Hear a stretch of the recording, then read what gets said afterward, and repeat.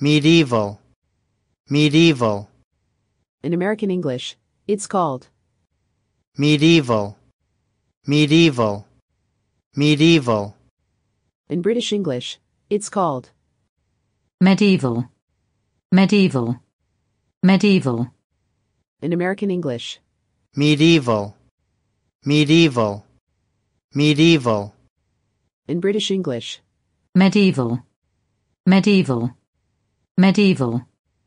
Okay, that's all for today's lesson.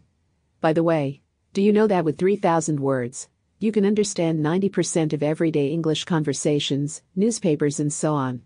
Our channel will teach you these most commonly used English words.